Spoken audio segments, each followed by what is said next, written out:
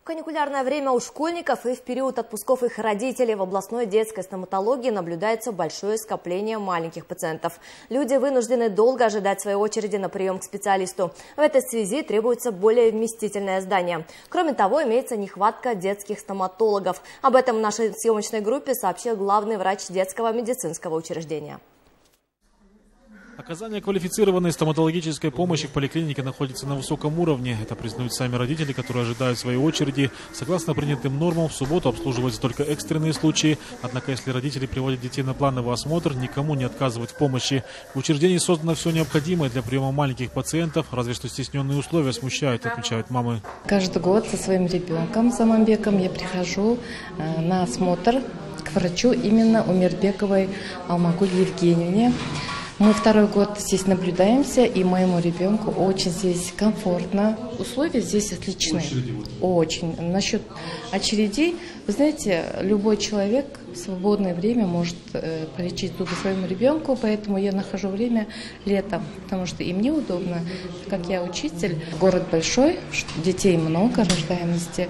Хотелось бы, конечно, чтобы побольше было здания, пошире, потому что все родители э, стараются здесь э, полечить зубы детей. Областная детская стоматологическая поликлиника действует в неприспособленном здании. В свое время помещение выделили на 45 тысяч детей. Сейчас же количество детского населения только города превышает 200 тысяч, а к специалистам своих детей родители привозят даже из соседних районов.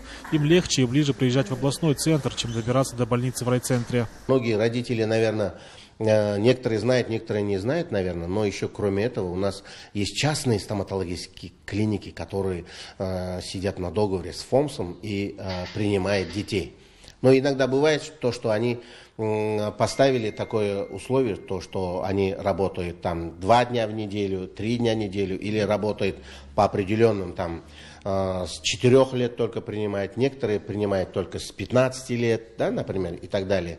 А мы, вот, например, Здесь государственная поликлиника, мы никому не отказываем, мы от нуля до 18 к нам приходят.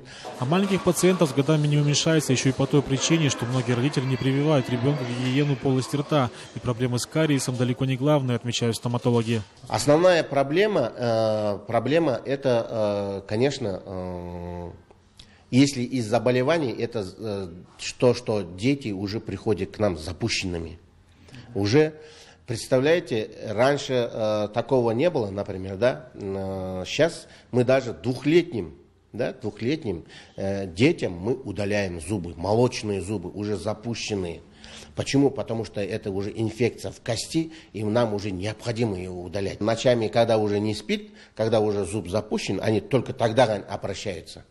И, конечно, у нас вот такие э, этот, э, очереди и так далее. К слову, в детской стоматологии по проспекту Абая в филиале по улице Асао Барака работает в общей сложности более 20 терапевтов и хирургов. Специалистов не хватает, говорит главный врач. Молодые люди заканчивают стоматологический факультет, но не могут устроиться на работу. От них требуется закончить еще и резидентуру. Учреждение надеется, что в скором времени подобную меру отменят и удастся набрать больше молодых квалифицированных стоматологов.